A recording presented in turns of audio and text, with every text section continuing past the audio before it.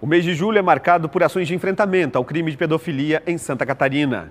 O tema é combatido inclusive com lei estadual sancionada há cinco anos. A legislação obriga o Estado a promover a prática de combate ao crime, que vitimiza crianças e adolescentes em crimes sexuais. A Assembleia Legislativa integra a rede de combate. O Parlamento Catarinense planejou ações de conscientização que podem ser conferidas nas plataformas de comunicação. Assembleia Legislativa. Presente na sua vida.